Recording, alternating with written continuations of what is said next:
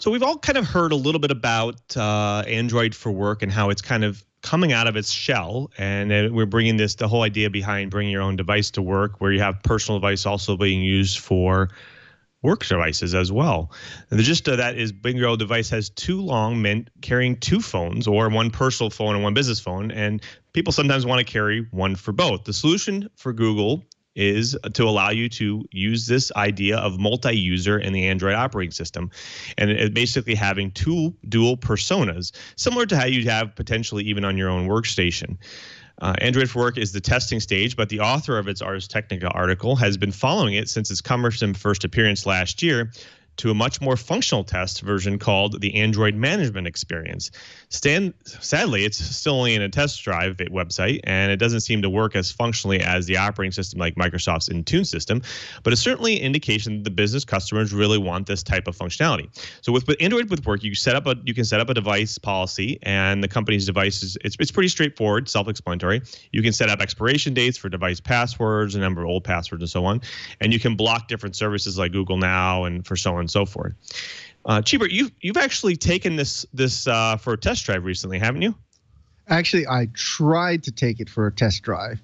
The pain is the I'm on Google University, which is a managed Google um, account, and if you're on a managed account already, you can't take it for a test drive. So literally, if I want to play, I've got to go and create another Google account that isn't managed just to be able to play. Now, I will say, I've been really, really interested in mobile device management just because it's such a big issue.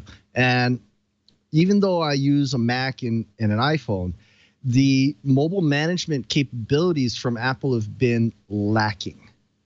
And so I've seen that and I've also been I've also played with Microsoft Intune and at the moment Intune is by far the superior product what I am interested in, though, is Google's got a heck of a lot of resources plowed into this. And I'm really wondering if Microsoft Intune is going to actually have some real competition pretty soon. Don't know. We'll see. Yeah, there's some interesting ta- players in this space. I think you have things something Mobile Iron and Good and AirWatch. Know, Curtis, have you seen this? You know, these kind of play out. Is this is this a space to be in for this type of devices? And is this a is a good service to have for you know for an enterprise?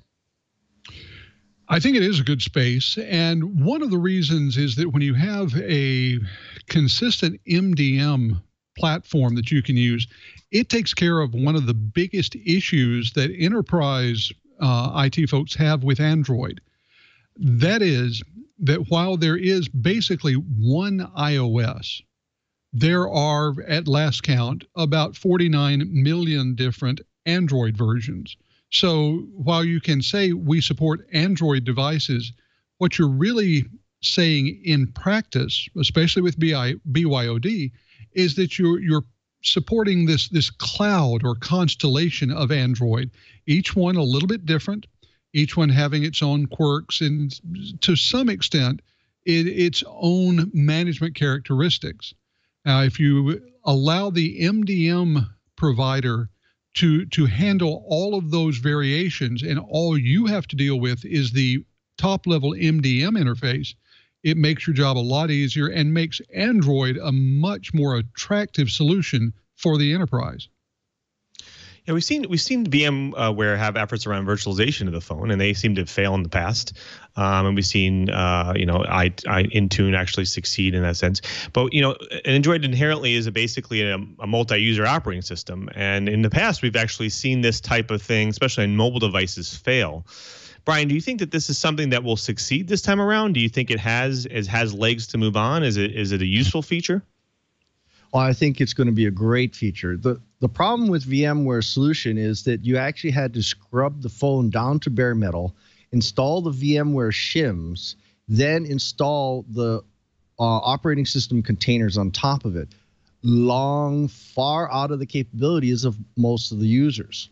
Now, what this is doing is it's actually building it into the operating system, and it's almost like in a Linux where you can actually have multiple shells, um, so that you can have an entire environment set up using the same common core operating system but have a completely different personality. so that you don't have to have dual SIMs. And we all know that dual SIM phones are actually kind of rare and they're expensive and they're hard to manage and unfortunately a little on the delicate side because you've got so many widgets in there and so many different things that you have to manage so what intune has done is great but having this dual personality operating system sounds like it might have hit the sweet spot for the mdm world and i think it could be a really good solution for byod yeah, the interesting thing is, you know, um, you know, the Microsoft, the phone, the Windows Phone OS, it's you know inherently its kernel is Windows 10, right underneath the covers. It'd be interesting. I'm curious, Hubert, why why do you think that this haven't hasn't really appeared on the phone, uh, especially Windows Phone, uh, since it has the capabilities under the hood? Yeah, I'm I actually got a briefing. It was um, I actually got to hear Satya Nadella talk, and we were in a whole bunch of um, uh, journalists from worldwide talking about different things. And during the conversation with Windows Intune, they definitely mentioned that there was a multi-user capability in Windows Phone. And for the longest time, I actually ran Windows Phone, and I love Windows Phone, and I think the voice commander portion is still the best on, on the face of the earth. But maybe you know, this is me just looking at it from the outside. I'm almost thinking that maybe, just maybe, there is a lack of commitment from upper management on wanting to really take over the mobile market.